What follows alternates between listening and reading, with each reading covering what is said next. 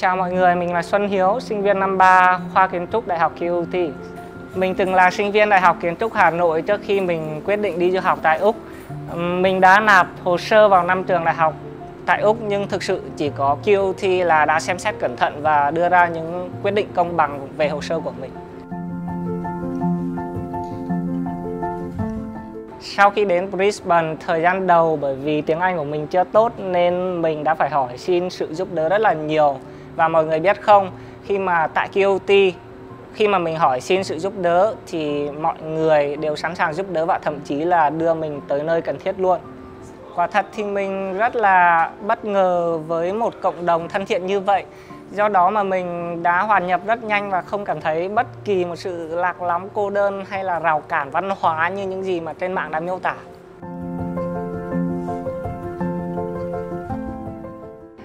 Tại khóa học kiến trúc của mình thì mình đã gặp rất nhiều những bạn bè mới với những ý tưởng cực chất và mình rất là thích học những cái buổi tutorial bởi vì đây là khoảng thời gian mình được các cái thầy hướng dẫn trực tiếp và thoải mái trao đổi đồng thời học được những cái kỹ năng mềm quan trọng khác.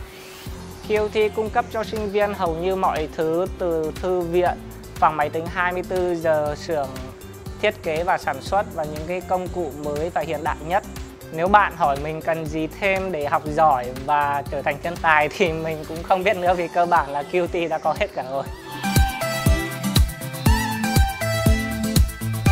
Yếu tố duy nhất còn thiếu chỉ là chính bản thân mình mà thôi. Nếu mà chịu khó học tập thì chắc chắn sẽ đạt được kết quả tốt.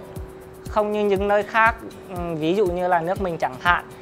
Ừ, nếu mà muốn tìm tài liệu và tham khảo hoặc là tìm kiếm sự chỉ dẫn thì rất là khó hoặc là không biết tìm ở chỗ nào cả.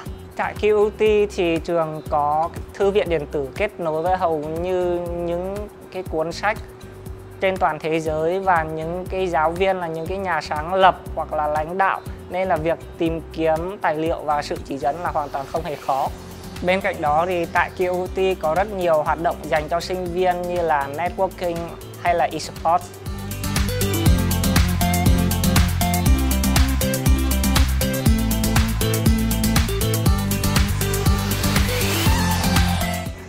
Theo mình, Brisbane là một thành phố rất là năng động và đáng sống. Mọi người thì chăm tập thể thao và rất là thân thiện. Ở các khu dân cư thì được quy hoạch nhiều mảng xanh và các khu vui chơi. Bên cạnh đó thì giá cả ở Brisbane khá là rẻ so với các khu vực khác.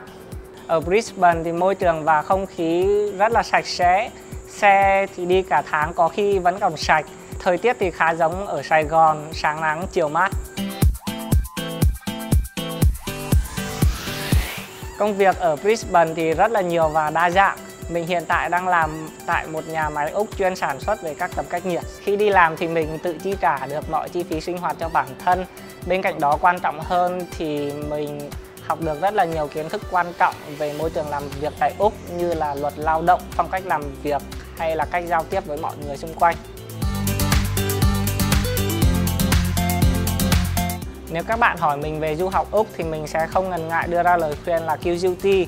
Đây là một cộng đồng rất là thân thiện, cơ sở vật chất tuyệt vời và quan trọng nhất là các bạn được trải nghiệm những kiến thức thực tế trong quá trình học chứ không chỉ là lý thuyết suông. So why not QUT?